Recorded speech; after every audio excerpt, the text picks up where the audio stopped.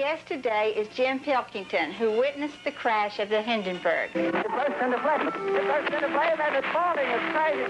Watch it. Watch it. It's crashing terrible. Oh, my. Get out of the way, please. It's burning, bursting into flames and, and it's falling on the mooring mast and all the folks agree that this is terrible. This is one of the worst catastrophes in the world. Oh, it's, it's, it's, it's space 20, oh, four or five hundred feet into the sky. And it, it's a terrific crash, ladies and gentlemen. The smoke and the flames now, and the frame is crashing to the ground, not quite to the mooring mast. All the humanity and all the passengers screaming around it. I don't, I can't talk to people whose friends are on there.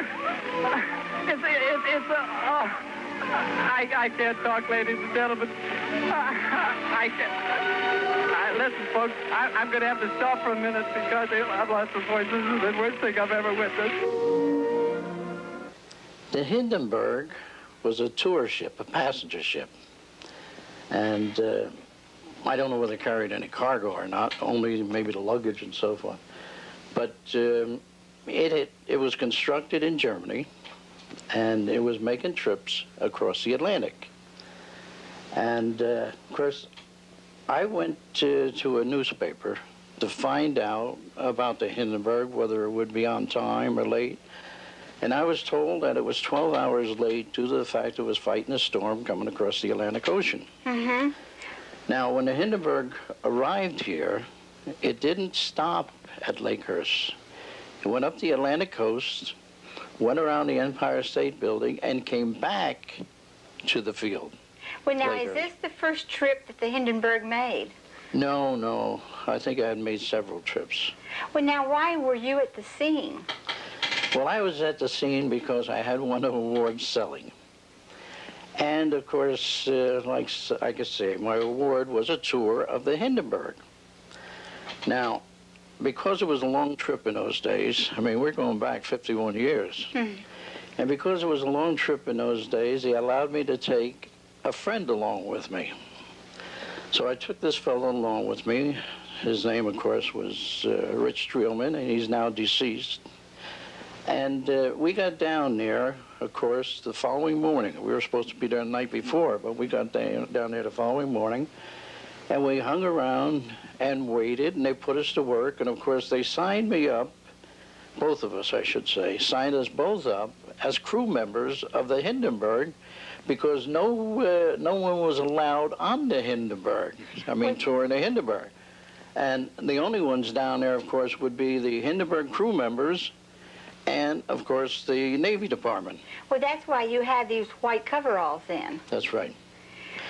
So I was given the white coveralls to wear that day, plus an officer hat, but I don't know what happened to the officer hat, but it's gone.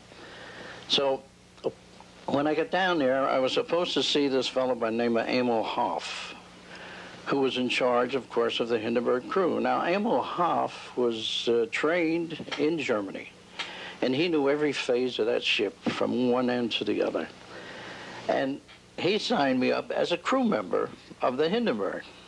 That's the only way I was going to get on the Hindenburg, you know, and uh, view it.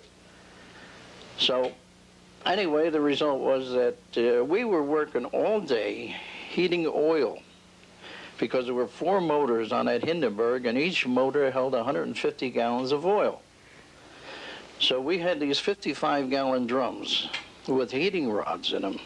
And we stood there in the rain all day, it was raining all day, shaking these drums back and forth because it was an SAE 50, and we had to heat it to the flow of an SAE 10, so it would go up the pipes and go into the motors. Then, when I got to the middle of the ship, I stood there waiting for him to drop the platform from the belly of the ship so I could go up into the ship.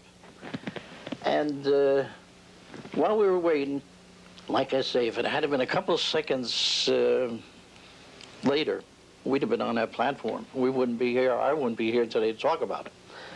So anyway, while we were standing there, waiting for this platform to come down, it looked like uh, somebody struck a match. And there was a little flame come out the side of the bag. Now, when we saw that, then the bag started to burn from the middle to the end, rear end. And uh, my friend stood there and he was paralyzed with fear. He couldn't move. So I grabbed him by the arm and I twisted him around and I said, run. And I think that day we broke, broke all track records. Mm, bad. In the gondola, we saw him jumping out of the windows to the ground, landing in the sand, saw him running, saw people with the, the backs bare uh, flesh, skin burnt right on off. Well, about And- how many people were on the ship? I'd say approximately it had to be in the 70s or 80s because uh, the way I understand, there were 30 um, people, of course, that didn't make it. And uh, I think it was something like 36 or better that were saved. Well, now, were there Americans on on board too? Oh, yes, it was a tour ship, you know, and uh, they had, uh, well, as a matter of fact, there was one woman from Chicago that this Emil Hoff had pulled out of the gondola. I see. And uh, I know she rewarded him later on. And of course, I don't think he lived that long to uh, even enjoy it, whatever it was. Um, well, I know that you must have lived with this all your life and probably have had a lot of bad memories once in a while. Uh, even to talk about it, you get shaky, you know. But I want to thank you for letting us visit with you today and to tell us a little bit about what happened. Thank you a lot. Thank you. Thank you for dropping by. 31119. Now, there's one more note about this hidden treasure. After the Hindenburg crashed, it was reported on the radio that the entire ground crew was killed. But they weren't because Jim Pilkington was alive and he was trying to get word through to his wife that he was still alive. The telephone lines were down and couldn't and he could not reach her. Finally, with the help of the police, word did get through that her husband had not been killed. And after hearing the news, she promptly fainted, and I don't really blame her.